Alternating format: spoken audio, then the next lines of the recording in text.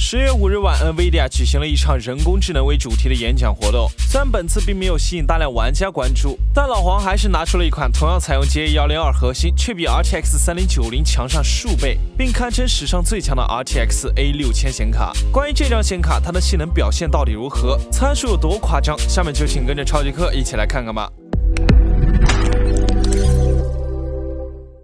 九月初，NVIDIA 发布了 RTX 三零九零显卡。已经实现了能让游戏在 8K 分辨率下以六十帧流畅运行的境地。这样强悍的性能也让不少在 2K、4K 的玩家们纷纷折服。但老黄似乎并不满意 RTX 3090在图形计算等更为专业领域中的表现，于是推出了这款面向工作站和服务器且更加专业的 RTX A6000 显卡。据悉，这张显卡依旧是基于安培架构，由三星八纳米工艺打造，同样采用了 GA102 核心。但相比于 RTX 3090的 GA102 核心来说，用在 RTX A6000 上的却是满血版。规格参数上，它搭载了四十八 GB 的 GDDR6 显存，并可以通过 NVLink 扩展到九十六 GB，拥有八十四组 SM 单元，内含一万零七百五十二个 CUDA 核心，比 RTX 三零九零还要多出二百五十六个，TDP 功耗达到了三百瓦，将使用全新的 EPS 十二伏八 pin 电源接口，拥有第二代 RT Core 核心，第三代 Tensor Core 核心，支持并行光追、着色显示和全新的 TF 三二和 BF 一六数据格式，提供两倍于上一代的 FP 三二吞吐量，并结合了稀疏运算特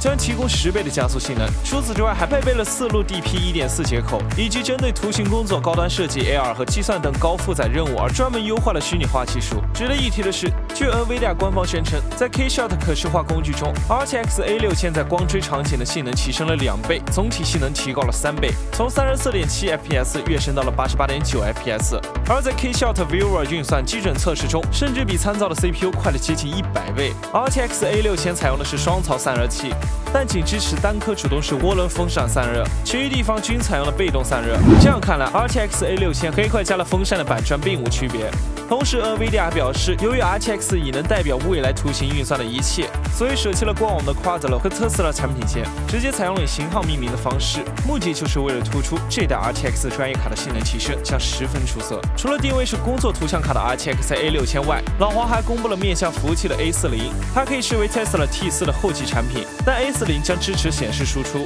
也就是新增加了四路 DP 接口，而在功耗、硬件规格、性能参数上几乎和 RTX A 六千一致，只是在设计上 A 四零就是一个活脱脱的板凳，甚至一个散热器都没有，全靠被动散热。至于老黄为什么这样设计，我们也不用想，更不敢想，毕竟对于我们这些臭打游戏的来说，专业级的硬件与我们太过遥远。总的来说，这款拥有四十八 GB 显存的 RTX A 六千显然不是为游戏领域而准备的，除了专业外就是更专业。不难想象，当一些电影摄影者在使用 RTX A6000 后，他们将会享受更快、更逼真的场景和电影制作，而我们将要感受的就是无与伦比的电影体验。毕竟我们连 RTX 3090啊不3080都还没有，更何况 RTX A6000 的部分性能根本用不到呢。所以各位玩家啊就不要凑这个热闹了。三 D 系显卡它不香吗？如果还想了解更多硬件相关的消息和科普知识，记得关注超级课。我们下期再见。